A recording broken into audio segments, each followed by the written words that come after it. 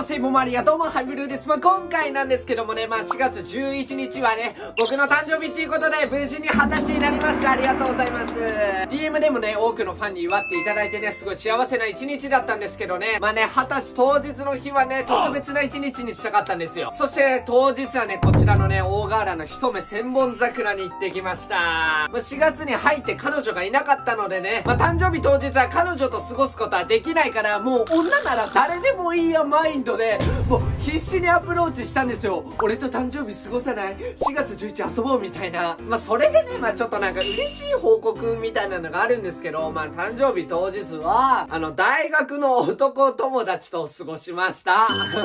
はい。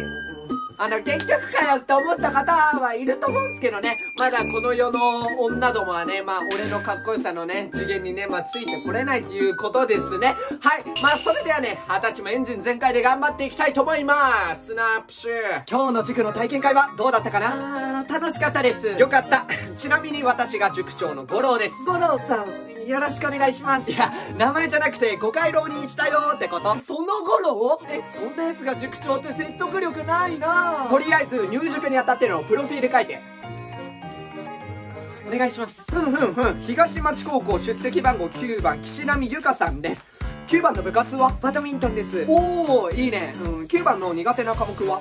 社かな暗記が苦手です。なるほどね。ちなみに9番の刑務所呼びやめて、え、ちゃんと名前で呼んで。まあ、うちの塾は生徒に寄り添うことをモットーとしていて、生徒一人一人を大切な商品として扱います。いや、金儲けの道具として扱うなコースは2種類あって、夏休みだけ頑張りたいよっていう方はこちらの短期記憶コース、あとこちらの記憶喪失コースですね。記憶喪失？え、短期コースと長期記憶コースみたいな感じじゃないんですか？バカなやつは地頭からバカなんですよ。だから地頭をリセットさせて勉強し直すコースですね。それ効果出るんですか？ある薬を飲んでリセットさせて再学習した方は全員100点取れるようになってるんです。怪しそう ある薬って何？新薬グラビティ X です。新薬グラビティ X!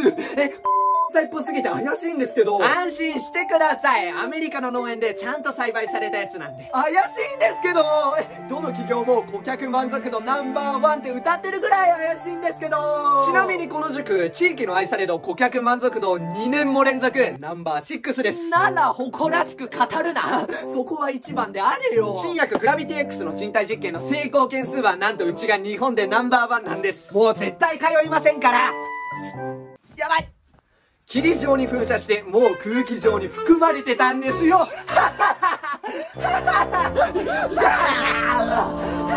新薬グラビティ X なかなかやるじゃねえか。体が熱いぜ。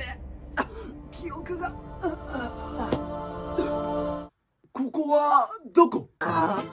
私は誰？いやお前もかーい！ーいてな感じでね、やってきたんですけど、まあ、誕生日と言ったら、いろんな人から祝いライン来るじゃないですか。でも、あれ ?BTS が好きな可愛い先輩から祝いライン来てないぞと思い、もうこれは自分から行こうということで、僕今日誕生日なんですよねってカマチョラインしたんですよ。そしたら、あ、そうだよね、おめでとうって帰ってきて、スタバの取り付けポン送られてきて、うわ、先輩熱っえ、もうこれ好きの確定演出やんって思いまして、あ、半分本音半分ノリで、誕生日なんで、ジョジョ絵送ってくださいって送ったら、あの、まさかの、みか未読無視っていう、あれ？あれもあの、メッセージ返ってこなくなっちゃったって思っちゃって。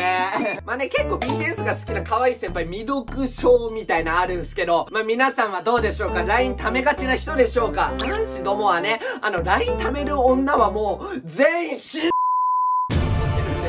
あの、ぜひ返してあげてください。誕生日祝っていただいてありがとうございました。まあ今年20歳という節目の年なんでね、全力で謳歌してね、早くね、銀の盾をゲットしたいかなと思います。それでは次の動画でお会いしましょう。バイビーインスタのフォローもよろしくね。